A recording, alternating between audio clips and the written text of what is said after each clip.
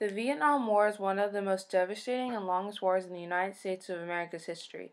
According to the History Place, it began in 1961 when Soviet Premier Nikita Khrushchev pledged support for wars of national liberation throughout the world. His statement greatly encouraged communists in North Vietnam to escalate their armed struggle to unify Vietnam under Ho Chi Minh. The Vietnam War officially began when the North Vietnamese and the Viet Cong, an organization helping the North, took action and made Vietnam a communist nation. The people in South Vietnam retaliated at this change, wanting to keep their republic form of government. The U.S. fought alongside the South Vietnamese in fear that if North Vietnam won, communism would spread everywhere, including on their own soil. From 1950 from the 1950s to the 1980s, it was believed that if one country developed a communist government, the rest would follow too. This was called the domino theory.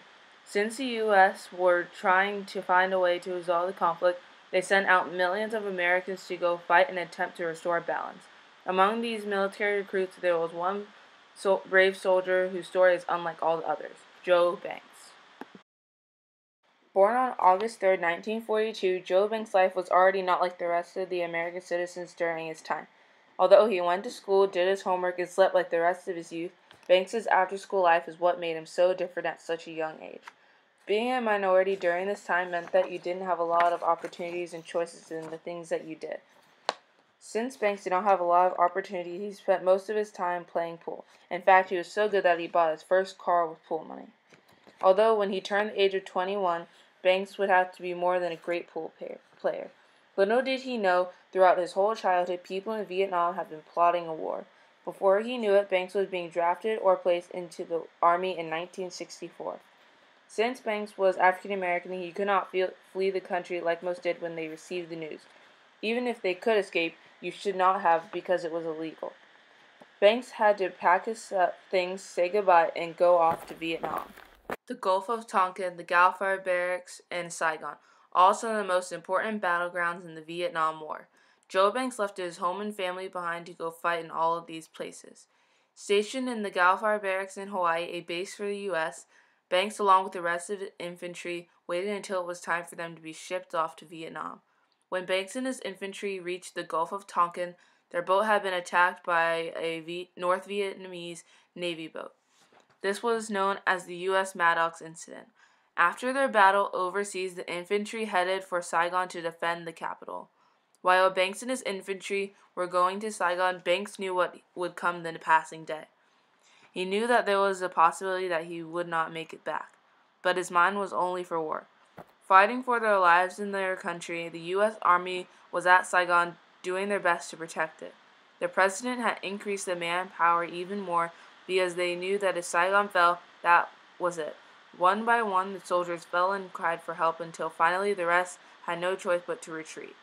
Running in shame and relief, the rest of the U.S. soldiers left Saigon, marking the end of the Vietnam War. Being welcomed back home after fighting bravely in the war, Banks was not the same. After witnessing the true meaning of war and being set back to his regular life, there was more depth behind his neutral features. Once the U.S. Army fled the scene, North Vietnam took over everything and made Vietnam a whole communist nation. Feeling like he failed his country, it took Banks a while to return to his normal old self, but he finally did.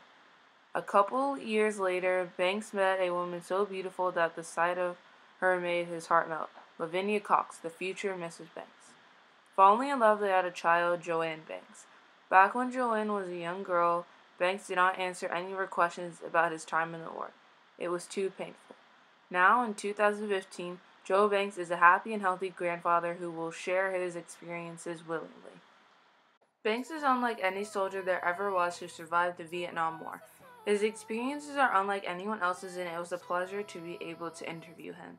It is very incredible how, even though he did not agree to, on the reasons for the U.S. joining the war, he still did everything he possibly could to protect his country. Certain things happen to people for a reason. I feel the war was an eye opener for Banks. This project certainly helped me learn a lot, not just about the Vietnam War, but the way the wars affect people in their present day lives. War is not something to be taken lightly. Not only do thousands of people die, but a lot of veterans have things called emotional scars.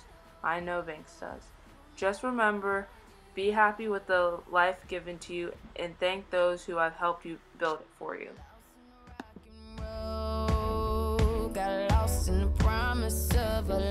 I never know.